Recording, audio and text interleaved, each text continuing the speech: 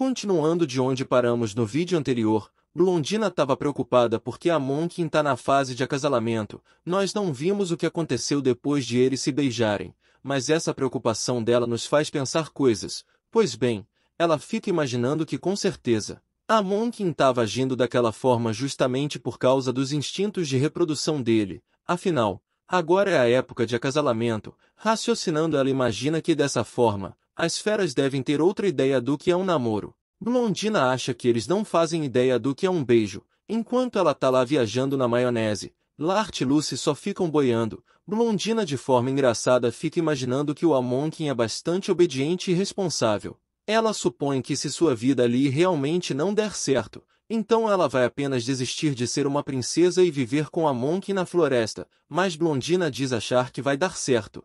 Pouco depois, vemos que Amonkin aparece meio de fininho, Blondina simplesmente se joga em cima dele o abraçando. Enquanto ela o aperta, ela imagina que da última vez que ele se ausentou, foi porque ele tinha crescido, mas ela imagina que dessa vez, foi por causa da sua época de acasalamento. Blondina imagina que mesmo na época de acasalamento ele foi visitá-la. Ela então escora nele e fica conchegada. Enquanto isso, ela fica observando ele e se perguntando como pode ele ser tão lindo assim. Ele tem um corpo com curvas gentis e uma mandíbula poderosa. Ele também tem um pelo bem brilhante e seus olhos são como fogos de artifícios. Ela chama pelo nome dele e fala que ouviu dizer que é época de acasalamento. De forma engraçada ele fica perguntando onde ela aprendeu isso, mas ela pergunta do que ele está falando. Ela fala que ele é mais novo que ela. Assim ela diz que aprendeu isso dois anos na frente dele. Enfim, ela fala que ouviu dizer que essa é a época de acasalamento das feras.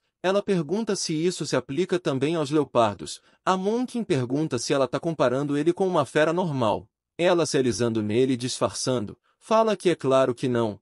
Ela fala que ele é repleto de poder divino. Assim ela fala que o que ela estava tentando dizer é que os humanos não fazem esse tipo de coisa com qualquer pessoa. Ela fala que para as feras pode não importar com quem fazem isso. Como se fosse uma professora, ela explica que se um humano beijar qualquer pessoa, ele vai ter uma má fama e vai ser chamado de coisas como adúltero ou luxurioso. Ela fala que pessoas que fazem isso serão tratadas como pessoas má.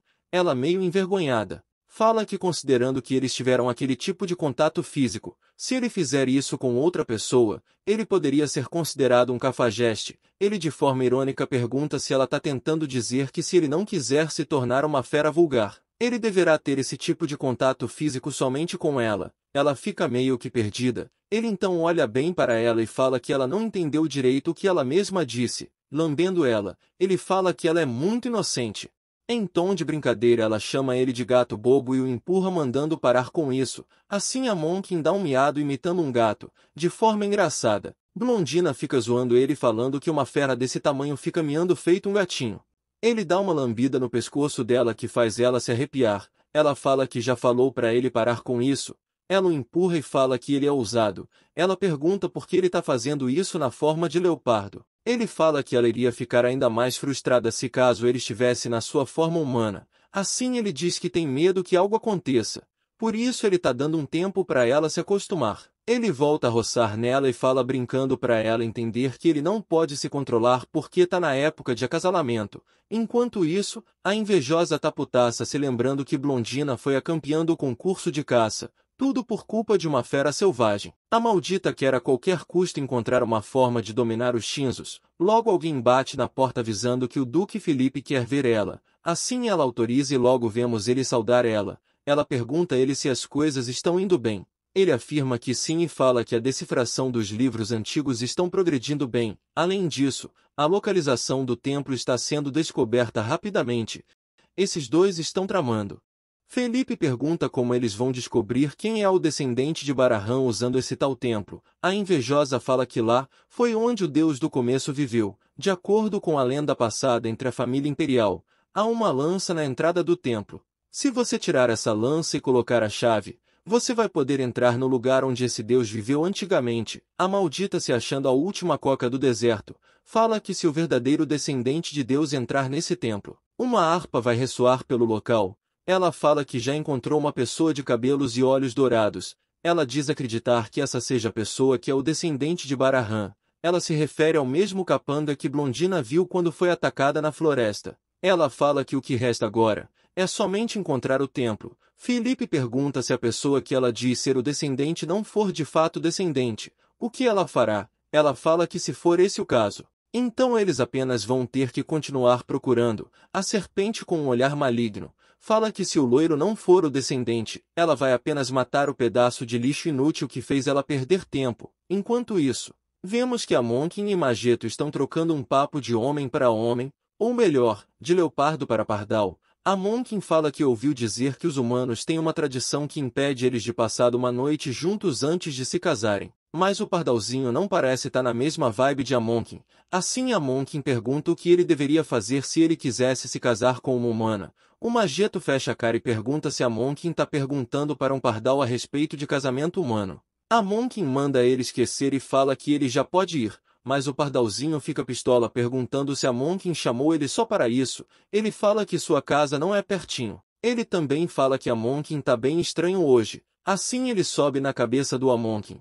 A Monkin pergunta se deveria ir apenas perguntar para algum humano, mas o pardalzinho diz que depois pode perguntar para a Blondina como os humanos se casam. A Monkin fica bravo e fala para ele não perguntar para ela nunca. De forma engraçada ele fala que se Mageto perguntar para a Blondina, ele irá o engolir inteiro. O pardalzinho fica gritando e dizendo que a Monkin sempre ameaça de comê-lo. Ele fala que a Monkin é cruel e diz que vai contar tudo pra Blondina, mas a Monkin diz que tá falando sério. Ele fala que se Mageto contar pra Blondina, ele vai destruir ele e o ninho dele. Assim o pardalzinho sai voando e falando que a Monkin é realmente malvado. A Monkin então supõe que pode perguntar para aquele Zé Ruela. Acho que ele se refere a Larte, mas não. Ele estava falando do leopardo Chante, a Monkin aparece chutando Shanti e perguntando como os humanos se casam, mas o leopardo desentendido fica perguntando do que a Monkin está falando. A Monkin fala que é de casamento.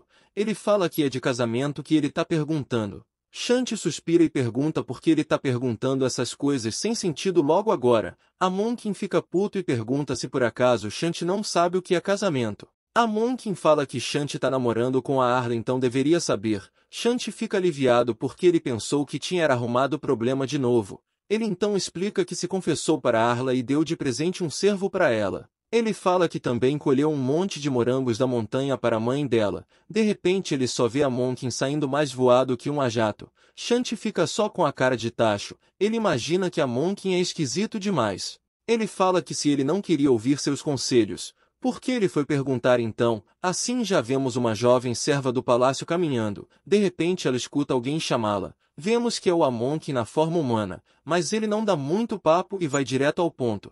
Ele pergunta onde está o imperador. A jovem se curva diante dele e fala que o imperador está na construção azul. A Monkin nem espera ela terminar de falar e já vai indo. Vemos que ela fica admirada ao ver ele se transformar em um leopardo. Ela imagina que ele é realmente grande e lindo como dizem os rumores. Já dentro do palácio, um servo nota a presença dele e imagina que ele parece ser um enviado que se perdeu enquanto caminhava pelo palácio. O servo se aproxima de Amonkin e fala que o guiará até o imperador. Assim o servo leva até um local cheio de pessoas que também estão aguardando para falar com o imperador. Amonkin não parece estar muito alegre em ter que esperar, ele se pergunta quando será a sua vez, ele imagina que não acha que seria uma boa ideia encontrar com o imperador. Logo em seguida, um homem que se apresenta como Maharin, diz achar que é a primeira vez que vê a Monkin por ali. Assim ele pergunta se pode saber quem ele é e de onde ele é. A Monkin diz seu nome e fala que é da floresta. Assim o cara estende a mão para Monkin e fala que é um prazer conhecer ele.